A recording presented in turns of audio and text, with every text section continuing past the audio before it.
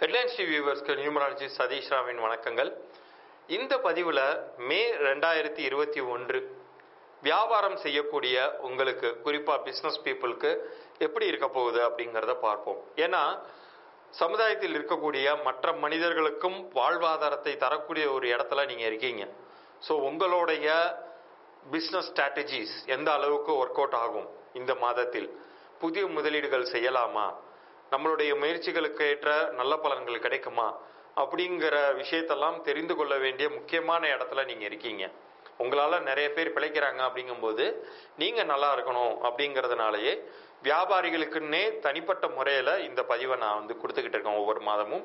இப்போ இந்த மே ரெண்டாயிரத்தி இருபத்தி ஒன்றை பொறுத்த வரைக்கும் ஒவ்வொரு தேதியில் பிறந்தவர்களுக்கும் வியாபார ரீதியாக எப்படி இருக்க போகுது அப்படிங்கிறத பார்ப்போம். முதலில் சூரியனுடைய ஆதிக்கத்திற்குட்பட்ட ஒன்று பத்து பத்தொன்பது இருபத்தெட்டு இந்த தேதிகளில் பிறந்தவர்கள் சிம்ம ராசியை சேர்ந்தவர்கள்.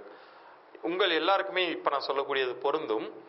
இந்த மாதத்தை பொறுத்த வரைக்கும் உங்களுக்கு நன்றாகவே இருக்க போகிறது. ஒரு புதிதான ஒரு விஷயத்தை நீங்கள் முன்னெடுக்கணும்னு நினச்சிங்கன்னா தாராளமாக செய்யுங்க. உங்களுக்கு நல்ல லாபங்கள் கிடைக்கிறதுக்கான வாய்ப்புகள் வரும். மனக்குழப்பங்கள் வேண்டாம். ரொம்ப தீர்க்கமாகவே முடிவெடுங்க. ஆனால் செய்ய வேண்டிய காலகட்டத்தில் சரியான தேதிகளை தேர்ந்தெடுத்து செய்யுங்க. அப்போ தான் உங்களுக்கான சக்ஸஸ் அப்படிங்கிறது கிடைக்கும். என்னென்ன தேதிகளில் நீங்கள் பண்ணணும் அப்படின்னு கேட்டிங்கன்னா ஒன்றாம் தேதி ஒன்பதாம் தேதி பதினான்காம் தேதி இருபத்தி மூன்றாம் தேதி இருபத்தி நான்காம் தேதி. ஏன் சார் இந்த குறிப்பிட்ட தேதிகளில் மட்டும் செய்ய சொல்கிறீங்கன்னு கேட்டிங்கன்னா இந்த தேதிகளில் தான் உங்களுக்கான ஆர்கானிக் சக்ஸஸ் அப்படின்னு சொல்லுவோம். இயற்கையாகவே உங்களுக்கு ஏதாவது ஒரு வகையில் அனுகூலங்களை ஏற்படுத்தக்கூடிய காலகட்டமாக இது அமையும். அதனால் இந்த தேதிகளை தேர்ந்தெடுத்து நீங்கள் உங்களுடைய முயற்சிகளை முன்னெடுக்கும் பொழுது இது மிகச்சிறந்த மாதமாகவே இருக்க போகுது. அதனால் தாராளமாக நீங்கள் உங்களுடைய முயற்சிகளை நீங்கள் செய்யலாம். ஏற்கனவே பிஸ்னஸ் டல்லாக போயிட்டு இருக்கிறவங்களுக்கு பிஸ்னஸ் அந்த டல்னஸ்லேருந்து மீண்டு எழுவதற்கான ஒரு வாய்ப்புகள் கிடைக்கும். வெளியிலேருந்து யாராச்சும் இன்வெஸ்டர்ஸ் வருவாங்க அதன் மூலமாக நீங்கள் பிழைக்கக்கூடிய ஒரு வாய்ப்பெல்லாம் இந்த மாதம் உங்களுக்கு ஏற்படுத்தி தரும். அடுத்தது சந்திரனுக்குரிய இரண்டு பதினொன்று இருபது இருபத்தி ஒன்பது இந்த தேதிகளில் பிறந்தவர்களுக்கும் கடகராசியை சேர்ந்தவர்களுக்கும் மே ரெண்டாயிரத்தி இருபத்தி ஒன்று எப்படி இருக்க போகுதுன்னு பார்த்தா இந்த மாதத்தின் துவக்கமே சந்திரனுடைய ஆதிக்கத்தில் தான் பிறக்குது. அதனாலேயே பார்த்தீங்கன்னா நல்லா தான் இருக்க போகுது இந்த மாதத்தை பொறுத்த அளவுக்கு. ஒரே ஒரு விஷயம் மனக்குழப்பங்களுக்கு மட்டும் இடம் கொடுத்துறாதீங்க. மனக்குழப்பங்கள் இருக்கும் பொழுது உங்களால் சரியான ஒரு திசையில் போகாமல் தவறான முடிவுகளை எடுக்க வேண்டிய குழப்பங்களை வந்து அப்பப்போ கொடுத்துரும். ஆனால் இயற்கையாகவே இந்த மாதம் உங்களுக்கு நல்லது பண்ணுறது காத்துட்டு இருக்கிறதுனால ஏதாச்சும் ஒரு வாய்ப்பு வருதுன்னா அந்த வாய்ப்பை பயன்படுத்திக்கோங்க. இது நமக்கு நல்லதாக நடக்குமா கெட்டதாக நடக்குமா அப்படின்லாம் போட்டு கன்ஃபியூஸே பண்ணிக்காதீங்க. நல்லது தான் நடக்கும் அப்படிங்கிற ஒரு தீர்க்கமான முடிவோட இறங்குங்க. நிச்சயம் வந்து உங்களுக்கு அனுகூலமான தன்மைகள் அப்படிங்கிறது ஏற்படும். ஆனால் அதற்கான குறிப்பான தேதிகளை மட்டும் நீங்கள் கரெக்டாக ஃபாலோ பண்ணிட்டு வந்துடுங்க.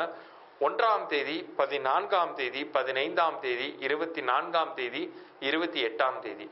இந்த தேதிகள்லாம் உங்களுக்கான ஒரு நல்ல ஒரு சூழ்நிலைகள் அப்படிங்கிறது அமைந்து உங்களை பெரிய அளவுக்கு காப்பாற்றி விடக்கூடிய ஒரு காலகட்டமாக அது அமைய போகுது.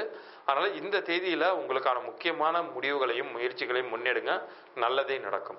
அடுத்தது குருவுக்குரிய மூன்று பன்னிரெண்டு இருபத்தி ஒன்று முப்பது. இந்த தேதிகளில் பிறந்தவர்களுக்கும் அதே போல குருவின் தன்மையில் இருக்கக்கூடிய தனுசு ராசி அப்புறம் வந்து மீன ராசி இந்த ராசியை சேர்ந்தவர்களுக்கும் இந்த மே ரெண்டாயிரத்தி இருபத்தி ஒன்று எப்படி இருக்க போகுதுன்னா அனுகூலம் தரக்கூடிய வகையில் தாங்க இருக்க போகுது. ஏன்னா இந்த மாதத்தின் துவக்கமே சந்திரனுடைய ஆதிக்கத்தில் துவங்குது. அது உங்களுடைய குருவுடைய ஆதிபத்தியம் பெற்ற உங்களுக்கு நன்மையே செய்யக்கூடிய ஒரு கிரகம் தான் அதனால் இந்த மாதத்தை பொறுத்தளவுக்கு திடமான ஒரு முடிவாக நீங்கள் எடுக்கலாம். ஏதாச்சும் ஒரு புதிய வியாபார வாய்ப்புகள் வந்துச்சுன்னா தயவு செய்து அதை முன்னெடுங்க. நல்லதாகவே அமையும். அல்லது இருக்கக்கூடிய பிஸ்னஸோடைய பிரான்ச்சஸ் வேற சில இடத்துல நான் ஓப்பன் பண்ணணுன்னு இருக்கேன் சார் அப்படின்னு நீங்கள் நினச்சிங்கன்னா அதையுமே செய்யுங்க. அதுவுமே உங்களுக்கு பெரிய அளவுக்கு கை கொடுக்கும். அதற்கான தேதிகளாக நீங்கள் தேர்ந்தெடுத்து கொள்ள வேண்டியது மூன்றாம் தேதி பன்னிரெண்டாம் தேதி பதினான்காம் தேதி இருபத்தி மூன்றாம் தேதி. இந்த தேதிகளில் உங்களுக்கான முக்கியமான முடிவுகளை எடுத்துக்கொள்ளுங்கள். அது உங்களுக்கு நன்மைகளை கொடுக்கும். அடுத்து ராகுக்குரிய நான்கு பதிமூன்று இருபத்தி இரண்டு முப்பத்தி ஒன்று தேதிகளில் பிறந்தவர்களுக்கும் அதே போல உங்க ஜாதகத்துல ராகு எந்த ராசி கட்டத்துல உட்கார்ந்துருக்காரோ அந்த ராசி அமைப்பின் தன்மையில் இருப்பவர்களுக்கும் இப்ப நான் சொல்லக்கூடிய மே ரெண்டாயிரத்தி இருபத்தி ஒன்று பலன்கள் பொருந்தும். உங்களுடைய வியாபார வாய்ப்புகள் இந்த மாதத்தில் ஓரளவு சுமாராக தான் இருக்கும். ஏற்கனவே ஒரு டல்னஸோட போயிட்டு இருக்கிற அந்த ஒரு பிசினஸ் ஆப்பர்ச்சுனிட்டியை நீங்க அப்படியே தக்க வச்சுக்கிட்டீங்கனாலே போதும். நீங்க புதுசா வேற ஏதாச்சும் ஒரு பிசினஸ் துவங்குறது அல்லது வெளியில கடன் அதிகமாக எதிர்பார்த்து அதுல சிக்கிக்கிறது இது போன்ற விஷயங்கள்லாம் வேண்டாம். ஏன்னா நிறைய கடன் வாங்குறதுக்கான சூழ்நிலைகளை வந்து அதிகம் உருவாக்கும் முடிந்தவரை உங்களுடைய செலவுகளை கட்டுப்படுத்தி கொண்டு ரொம்ப சிக்கனமாக பட்ஜெட் போட்டு நீங்கள் அதை செய்யும் பொழுது தான் நீங்கள் தப்பிக்க முடியும். அதனால் இந்த மாதத்தை பொறுத்த வரைக்கும் எந்த விதத்துலையும் அகலக்கால் வச்சிடாதீங்க அதிகமாக கடன் வாங்கிடாதீங்க. புதுசாக புதுசாக வேற ஒரு இன்வெஸ்ட்மெண்ட்டுக்கு பிளான் எதுவும் வச்சுக்காதீங்க. வரக்கூடிய மாதங்கள் உங்களுக்கு நல்லது பண்ணும். இந்த மாதத்தை பொறுத்த வரைக்கும் ரொம்ப நிதானமாக நீங்கள் இருக்க வேண்டிய ஒரு தன்மையில் இருக்கு. தவிர்க்கவே முடியாத சூழ்நிலைகளில் இப்போ நான் சொல்லக்கூடிய தேதிகளில் உங்களுக்கான முயற்சிகளை நீங்கள் செய்து கொள்ளலாம். ஒன்று பதினாலு இருபத்தி நாலு. இந்த மூன்று தேதிகள் ஒன்று பதினாலு இருபத்தி நாலு. இந்த தேதிகளில் உங்களுக்கான முக்கிய முயற்சிகள் ஏதாவது தவிர்க்க முடியாத ஒரு சில தள்ளி தள்ளி போட முடியாத விஷயங்களை நீங்கள் இந்த தேதிகளில் வச்சுக்கோங்க. அது உங்களை காப்பாற்றிவிடும். அடுத்து புதனுக்குரிய ஐந்து பதினான்கு இருபத்தி மூன்று இந்த தேதிகளில் பிறந்த உங்களுக்கு மே ரெண்டாயிரத்தி இருபத்தி ஒன்று எப்படி இருக்க போகுதுங்கிறத பார்ப்போம். இதில் வந்து ராசியின் அம்சத்தில் பார்க்கும் பொழுது புதனுடைய வீடுகளுக்குரிய மிதுனம் மற்றும் புதனுக்கான மற்றொரு இடமான கன்னி இந்த இரண்டு ராசிக்குரியவர்களும் நீங்க வந்து இந்த பலனை பார்த்து பலன் பெறலாம். இந்த தேதிகளில் பிறந்தவர்களுக்கு இந்த மாதம் வந்து நல்லதாகவே இருக்க போகுது. ரொம்ப பெஸ்ட்னு சொல்ல முடியாது. கொஞ்சம் ஜாக்கிரதையாக இருக்க வேண்டியது இருக்கும். ஆனால் நல்லதும் நடக்கும். சில நேரங்களில் வந்து உங்களை வந்து கவுத்து விடுறதுக்கான வாய்ப்புகளும் வந்துடும் அதனால் கொஞ்சம் கேர்ஃபுல்லான முயற்சிகளை எடுங்க. ஆனால் முயற்சிகள் எடுக்காமல் இருக்க வேண்டாம். முயற்சிகள் எடுத்தீங்கன்னா அதற்குரிய ரிசல்ட்டுங்கிறது கண்டிப்பாக கிடைக்கும். முடிந்தவரை அகலக்கால் மட்டும் வைக்காதீங்க. உங்களுக்கான அதிர்ஷ்ட தேதிகளாக ஒன்று பதினாலு இருபத்தி மூன்று. இந்த தேதிகளில் நீங்கள் உங்கள் முயற்சிகளை வைத்துக் கொள்ளும் பொழுது அது உங்களுக்கு வெற்றியாக அமையும். அடுத்து சுக்கரனுக்குரிய ஆறு பதினைந்து இருபத்தி நான்கு. இந்த தேதிகளில் பிறந்தவர்களுக்கும் அதன் பிறகு சுக்கரனின் தன்மையில் இருக்கக்கூடிய ரிஷபம் மற்றும் துலாம் ராசி அம்சத்தில் இருக்கக்கூடியவர்களுக்கும் இந்த பலன்கள் பொருந்தும். உங்களை பொறுத்த அளவுக்கு கண்டிப்பாக இந்த மாதம் வந்து பெரிய முயற்சிகள் எதுவும் எடுக்கக்கூடாத மாதம் இது. ரொம்ப சுமாராக தான் இருக்கும். அதனால் ஜாக்கிரதையாக நீங்கள் உங்களுடைய முயற்சிகளை வச்சுக்கணும். முடிஞ்ச வரைக்கும் பெரிய இன்வெஸ்ட்மெண்ட்ஸ் இதுலேயும் போயிடாதீங்க. அடுத்த மாதம் பார்த்துக்கலாம் எல்லாமே. இந்த மாதத்தை பொறுத்த அளவுக்கு ஒன்று பதினாலு இருபத்தி நாலு இந்த தேதிகளில் உங்களுடைய முக்கிய மு- முடிவுகளையும் முயற்சிகளையும் நீங்கள் வைத்துக் கொள்ளுங்கள். தள்ளியே போட முடியாதுங்கிற விஷயங்களை மட்டும் இந்த தேதிகளில் நீங்கள் வச்சுக்கோங்க. அடுத்தது கேதுவுக்குரிய ஏழு பதினாறு இருபத்தி ஐந்து இந்த தேதிகளில் பிறந்தவர்களுக்கும் கேது வந்து உங்கள் ஜாதகட்டத்தில் எந்த ராசியில் இருக்கோ அந்த ராசி அமைப்பை சேர்ந்தவர்களும் இந்த பலன்களை பார்த்து பயன்பெறலாம். உங்களுக்கு பிஸ்னஸுக்குரிய இந்த மாதம் எப்படி இருக்க போகுதுன்னு பார்த்தீங்கன்னா நன்மையாகவே இருக்க போகுதுங்க. ஏன்னா இந்த மாதத்தின் தன்மையை சந்திரனுடைய ஆதிக்கத்தில் துவங்குதுன்னு நான் சொன்னேன். சந்திரன் வந்து உங்களுடைய இந்த கேதுவின் அம்சத்துக்கு நன்மையை பண்ணுவார். அதனால் நீங்கள் உங்களுடைய முக்கியமான முயற்சிகளை நீங்கள் வந்து தாராளமாக செய்யலாம். நிச்சயம் வந்து வெற்றியை தரும். அனுகூலமான காலகட்டமாக அமையும். ஆனால் தேதியை பொறுத்த அளவுக்கு ஒன்று பதினொன்று பதினாலு இருபத்தி ஐந்து இந்த தேதிகளில் உங்களுக்கான முக்கிய முடிவுகளையும் முயற்சிகளையும் செய்யுங்க. அது நன்மையாகவே முடியும். புதுசாக ஒரு பிரான்ச் துவங்குறதுக்கான ஒரு வாய்ப்பு கிடைக்கலாம். இது நியூ பிஸ்னஸ் வாய்ப்புகள் கிடைக்கலாம். அது எல்லாத்தையும் நீங்கள் முன்னெடுத்து செய்யுங்க. நன்மையே நடக்கும். அடுத்தது சனிக்குரிய எட்டு பதினேழு இருபத்தி ஆறு இந்த தேதிகளில் பிறந்தவர்களுக்கும் மகர ராசி கும்பராசி இந்த ராசியின் அமைப்பினருக்கும் இந்த மே ரெண்டாயிரத்தி இருபத்தி ஒன்று வியாபார ரீதியாக எப்படி இருக்க போகுது அப்படின்னு சொல்லி பார்த்தா ஓரளவு சுமாராக இருக்கும். பெரிதளவுக்கு நன்மைகள் நடக்காது தீமைகள் நடக்காது. ரெண்டும் கலந்து கலந்து தான் இருக்கும். இருந்தாலும் நீங்கள் ரொம்ப ஜாக்கிரதையாக இருக்கணும். புதிதாக எந்த ஒரு விஷயத்தையும் நீங்கள் துவங்க வேண்டாம். தவிர்க்கிறது நல்லது. பெரிய இன்வெஸ்ட்மெண்ட்ஸ்க்கான வாய்ப்புகள் வந்தாலும் கூட கொஞ்சம் நிதானிச்சே முடிவெடுக்கிறது நல்லது.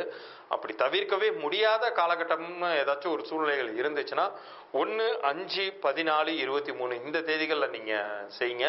அது உங்களை ஓரளவு காப்பாற்றி விடக்கூடிய ஒரு காலமாக இருக்கும். வரக்கூடிய மாதங்கள் உங்களுக்கு நன்மையாக இருக்க போது இந்த மாதத்தை பொறுத்த வரைக்கும் தான் கொஞ்சம் நிதானிச்சு முடிவெடுக்க சொல்லியிருக்கேன். அடுத்தது செவ்வாய்க்குரிய ஒன்பதாம் தேதி பதினெட்டாம் தேதி இருபத்தி ஏழாம் தேதி இந்த தேதிகளில் பிறந்த உங்களுக்கு இந்த காலகட்டம் எப்படி இருக்க போகுதுங்கிறத பார்ப்போம். இதில் வந்து ராசி அம்சத்தில் பற்றி நம்ம சொன்னோம்னா மேஷ ராசி விருச்சிக ராசி இந்த அமைப்பினருக்கும் இது வந்து பொருந்தும். உங்களுக்கு இந்த மாதம் வந்து சுமார் தான் ரொம்ப பெஸ்ட்டும் கிடையாது. அதே சமயத்தில் ரொம்ப ஒஸ்ட்டுன்னு சொல்லிட்டு நம்ம சோர்வடைஞ்சும் ஓரமாக உட்காந்துட வேண்டாம். இந்த மாதத்தை பொறுத்த வரைக்கும் ஒன்று ஒன்பது பதினாலு இருபத்தி நாலு இந்த தேதிகளில் உங்களுக்கான முக்கியமான முயற்சிகளை நீங்கள் வந்து வைத்துக் கொள்ளுங்கள். ஏன்னா இதில் தேதிங்கிறது ரொம்ப முக்கியம். இந்த தேதியில் வந்து நீங்கள் செய்யும் பொழுது ஓரளவாச்சும் நீங்கள் வந்து காப்பாற்றப்படுவீர்கள். என்னதான் வந்து சுமாராக இருக்கு அப்படின்னு நான் சொன்னாலும் எல்லா விஷயத்தையும் தள்ளி போட முடியாத ஒரு விஷயம்லாம் இருக்கும் இல்லையா? அதை வந்து இந்த தேதிகளை நீங்கள் செய்துட்டு வாங்க. எப்படியாச்சும் தப்பிச்சிருவீங்க. இப்போ நான் சொன்னது எல்லாமே வந்து உங்களுடைய தேதியின் அம்சத்திலையும் ஒரு சில ராசியின் அம்சத்திலையும் தான் நான் சொல்லியிருக்கேன். ஆனால் ஒவ்வொரு வியாபாரத்திற்குமே அந்த வியாபார பெயர் என்னன்னு ஒன்று இருக்கு. அதே போல அந்த நிறுவனரினுடைய பிறந்த தேதின்னு ஒன்று இருக்கு.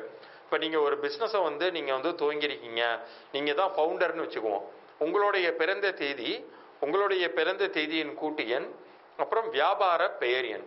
இது மூணுமே சின்கரனைசேஷனில் இருக்கணும். அதாவது ஒத்து போய் இருந்திருக்கணும் எண்கணித ரீதியாக அப்படி ஒத்து போயிருக்கும் பொழுது எவ்வளோ ஒரு சிரமமான காலகட்டமாக இருந்தாலும் அதுலேருந்து உங்களை இயற்கையாகவே அது காப்பாற்றிவிடும். ஒரு சக்ஸஸ்ஃபுல்லான பிஸ்னஸ் நேமுக்கு வந்து அந்த அளவுக்கு வந்து சக்தி இருக்குது இன்னைக்கு வரைக்கும் பெரிய அளவுக்கு ஜெயிச்சிருக்கிற நிறைய நிறுவனங்களை எடுத்துக்கோங்க. நிச்சயம் வந்து ஏதாவது ஒரு வகையில் வந்து அதனுடைய நியூமராலஜிக்கல் வேல்யூ வந்து அந்த ஃபவுண்டருக்கு பொருந்தக்கூடியதாக இருந்திருக்கும். ஏன்னா எல்லாமே வந்து பிஸ்னஸ் நம்பர்னு நம்ம முத்திரை குத்திட முடியாது. இதெல்லாம் பவர்ஃபுல்லான நம்பர் இதெல்லாம் ரெடிமேடாக எடுத்து வச்சுட்டா பிஸ்னஸ் சக்ஸஸ் ஆகிடுங்கிறதும் கிடையாது. அதை ஃபவுண்டர் பண்ண நிறுவனர் ஆரம்பிச்சார் பார்த்தீங்களா அவருடைய பிறந்த தேதிக்கு கூட்டு எண்ணிருக்கு இந்த பிஸ்னஸ் நேம் வந்து பொருந்தக்கூடியதாக இருக்கும் பொழுது தான் உங்களுக்கு அது சக்ஸஸை கொடுக்கும். ஸோ இப்போ உங்களை இந்த பதிவை பார்த்துட்டு இருக்கிற உங்களுக்கு உங்களுடைய வியாபார பெயர் சரியாக பொருந்திருக்கா அப்படிங்கிறது உங்களுக்கு தெரிஞ்சுக்கணும்னா உங்களுடைய வியாபார பெயர் அப்புறம் உங்களுடைய பெயர். இப்போ நீங்கள் நிறுவனர் ஒரே நிறுவனர்னா உங்களுடைய பிறந்த தேதியும் உங்களுடைய பெயர் இனிஷியலோடையுமே எனக்கு போதும். இதை நீங்கள் வாட்ஸ்அப்பில் அனுப்பலாம். சப்போஸ் பார்ட்னர்ஸ் யாராச்சும் இருக்காங்கன்னா அவங்களுடைய பெயர் அவங்களுடைய பிறந்த தேதியும் அவங்களுடைய பெயர் இனிஷியலோட எனக்கு வியாபார பெயரையும் போட்டு எனக்கு வாட்ஸ்அப் பண்ணுங்கள் மறந்துடாம ஹெட்லைன்ஸ் டிவியை சப்ஸ்கிரைப் பண்ணி அந்த ஸ்கிரீன்ஷாட்டோட எனக்கு அனுப்பிச்சி விடுங்க. உங்களுக்கான பலன்களை நான் சரிபார்த்து இலவசமாக நான் உங்களுக்கு அனுப்பிச்சி வைக்கிறேன். ஆனால் எனக்கு ஒரு மூன்று நாள் ஆச்சும் டைம் தாங்க. ஏன்னா இந்த மாதிரி நிறைய மெசேஜஸ் வரதுனால முடிஞ்ச அளவுக்கு ஹெட்லைன்ஸ் டிவி சப்ஸ்கிரைப் பண்ணி அனுப்புறவங்களுக்கு நான் முன்னுரிமை கொடுத்து ஒரு மூன்று நாட்களுக்குள்ளார உங்களுடைய வியாபார ப- பெயர் பற்றின பலன்களை நான் பதிவு பண்ணி அனுப்பிச்சி வைக்கிறேன். மீண்டும் அடுத்த பதிவில் சந்திப்போம். நன்றி.